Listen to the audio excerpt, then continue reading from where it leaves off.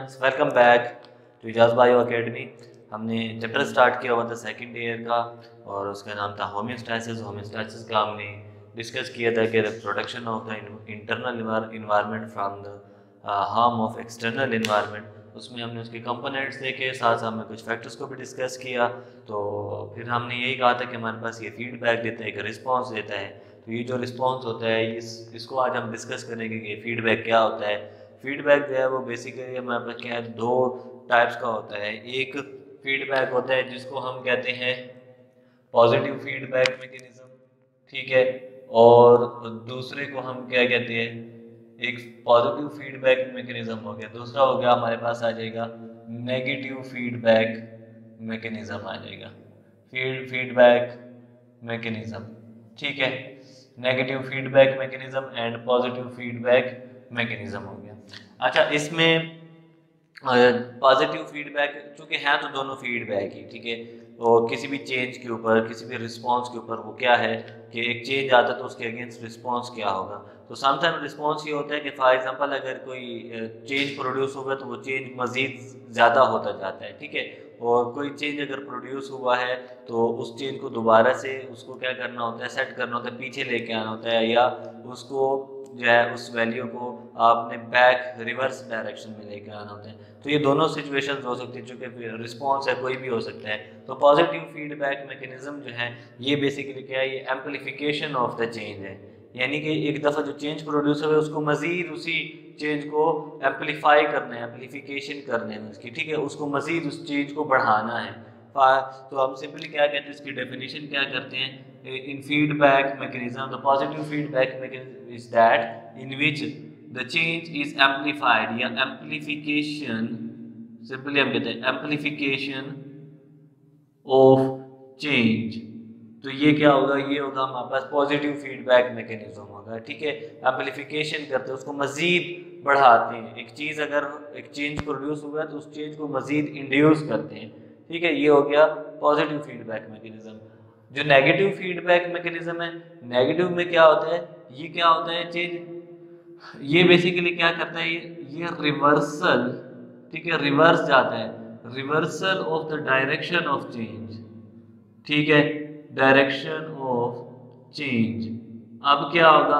अगर एक चीज़ जो है वो पॉजिटिव जा रही है तो उसको दोबारा से नेगेटिव लेके आते हैं। फॉर एग्जांपल वो इंक्रीज हो रही है टेम्परेचर 37 के बजाय 38 पे चला गया तो उसके रिवर्स डायरेक्शन में आएगा।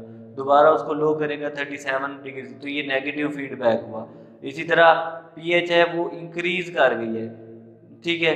अगर वो पीएच इंक्रीज कर गई है तो उस पीएच के इंक्रीज होने के बाद उसको दोबारा से अपने पॉइंट पे लेके आना, ये नेगेटिव फीडबैक मैकेनिज्म है। ब्लड प्रेशर है, वो लो हो गया है। जब ब्लड प्रेशर लो हो गया तो दोबारा उसको इंक्रीज करके लेके आना रिस्पॉन्स के थ्रू ये नेगेटिव फीडबैक मैकेनिज्म है। ठीक है? वाटर की कमी हो गई है तो अब वाटर को मजीद ज़्यादा करना है, दोबारा से उसको पॉजिटिव वे में लेके आना है। तो रिवर्सल ऑफ़ डायरेक्शन है। ठीक है? एक काम हो रहा है तो उसके एंटी रिस्पॉन्स देने हैं आपने। कि काम अगर पॉजिटिव हो रहा है, उसको नेगेटिव देने नेगेटिव हो रहा है, उसको पॉजिटिव देना है। तो इसको कहते हैं नेगेटिव फीडबैक मैकेनिज्म एग्जांपल हम थोड़ी सी कोड कर लेते हैं, या इसको चलो पॉजिटिव फीडबैक मैकेनिज्म है ना, ये इसका इसका होम्योस्टैटिक इफ़ेक्ट नहीं होता, ठीक है? नो होम्योस्टैटिक इफ़ेक्ट क्यों? क्योंकि होम्योस्टैटिक तो हम उसी को ठीक है? नॉर्मली हम कॉमन अगर बात करें ना होम्योस्टैटिक का तो हम उसको कहते हैं ना कि वो दोबारा उस सेट पॉइंट में ले गए। लेकिन पॉजिटिव फीडबैक मैकेनिज्म क्या करता है? ये दोबारा सेट पॉइंट में नहीं लेके आता, बल्कि ये क्या कर लेता है? उसी चेंज को मजीद जो है ना, वो बूस्टअप करता है इंड्यूस करता है, जो कि हार्मफुल भी हो सकता है, ठीक है? ये ज़्यादातर हार्मफुल होता है।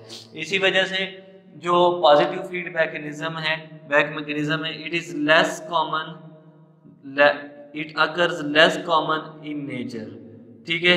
नेचुरली ये बहुत ही कम पॉजिटिव फीडबैक मैकेनिज्म होता है। ठीक है? अच्छा जो नेगेटिव फीडबैक मैकेनिज्म है नेगेटिव फीडबैक ये एक होम्योस्टैटिक कंडीशन देता है। ये क्या देता है? होम्योस्टैटिक कंडीशन देता है। ठीक है? और होम्योस्टैटिक कंडीशन देता है। ठीक है? क्योंकि ये क्या करता है? ये स्टेबिलिटी देता है स्टेबलाइज करता है। ये स्टेबलाइजिंग इफ़ेक्ट देता है। ये क्या देता है? स्टेबलाइजिंग इफ़ेक्ट देता है। अब इसका ये जो स्टेबलाइजिंग इफ़ेक्ट है ऑब्वियसली ये होम्योस्टैटिक इफ़ेक्ट ही दे रहा है। क्या दे रहे हैं? होम्योस्टैटिक इफ़ेक्ट दे रहे हैं, ठीक है? क्योंकि ये रेगुलेट करता है, किसी भी चीज़ को ज़्यादा हो गया या कम हो गया उसको दोबारा सेट पॉइंट में लेके आता है। तो होम्योस्टैटिक क्या है कि वो ज़्यादातर यही होता है कि सेट पॉइंट के अंदर ही उसको रखा जाता है, ठीक है? रेगुलेट रेगुलेशन के थ्रू जो है वो किसी भी फेनामिना को या किसी भी अमाउंट को, किसी भी वैल्यू को उस सेट पॉइंट के अंदर लेके आना होता है। तो ये क्या करता है? ये स्टेबलाइजिंग इफ़ेक्ट देता है स्टेबल करवाता है टेम्परेचर को पीएच को वेस्ट को, ठीक है नाइट्रोजनस के अमाउंट को डिफरेंट फैक्टर्स को। तो इसी वजह से ये क्या होता है? ये मोर कॉमन होता है इन नेचर ठीक है? नेचुरली हमारी बॉडी में ये क्या होता है? ये मोर कॉमनली प्रेजेंट होता है, ठीक है? मोर कॉमन होता है मोर कॉमन इन नेचर ठीक है?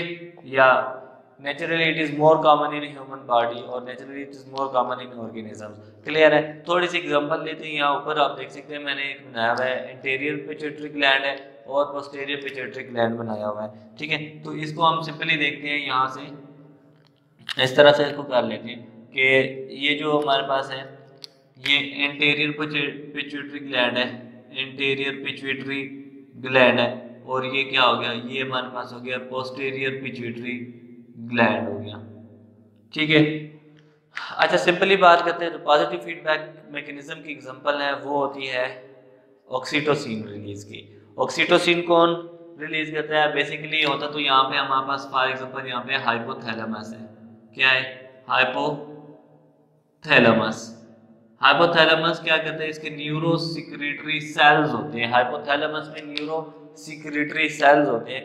न्यूरोसिक्रेटरी सेल्स जो प्रोड्यूस करते हैं, ऑक्सीटोसिन ऑक्सीटोसिन आता है, किसमें आता है? वो आके पोस्ट पोस्टीरियर पिट्यूटरी ग्लैंड में जो है, वो क्या होता है? यहाँ पे ये सेव हो जाता है। ठीक है स्टोर हो जाता है। स्टोर होने के बाद ये पोस्टीरियर पिट्यूटरी ग्लैंड में फर्दर ये क्या होता है? ये आता है, ये रिलीज़ होता है यहाँ से। फिर फर्दर ये क्या होगा?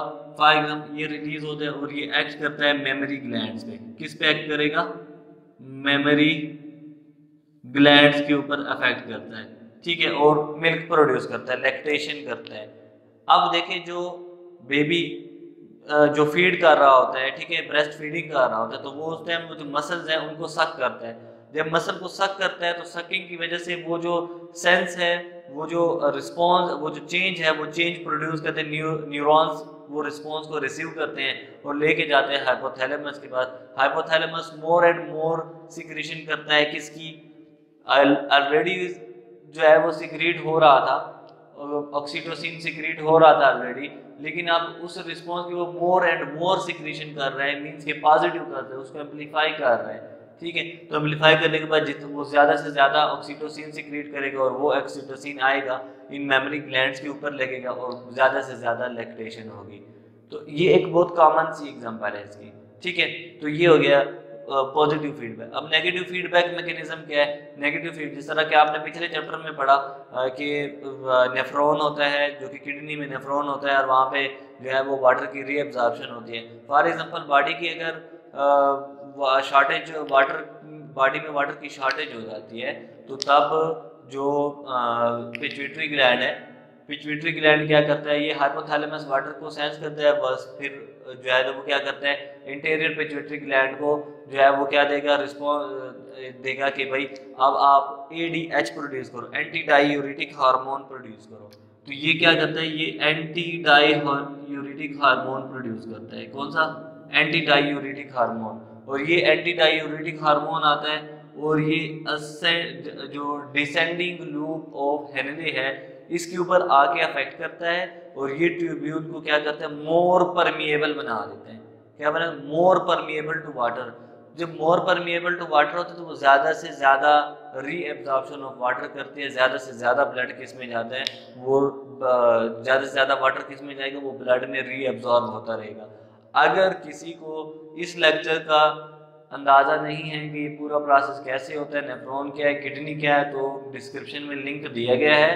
और इस लिंक में आप जाके क्लिक करें, आपके पूरा जो हो, यहाँ पे किडनी जो है, किडनी का पूरा स्ट्रक्चर और उसके पूरे फ़ंक्शन और नेफ्रॉन क्या तो उसका पूरा फ़ंक्शन जो है वो दिया गया है। आप इसको अच्छी तरह से जो है इस लेक्चर को सुने, इसको समझें तो तब आपको ये अंदाज़ा होगा कि नेगेटिव फीडबैक मैकेनिज्म में यहाँ पे एडीएच का क्या रोल होता है ठीक है?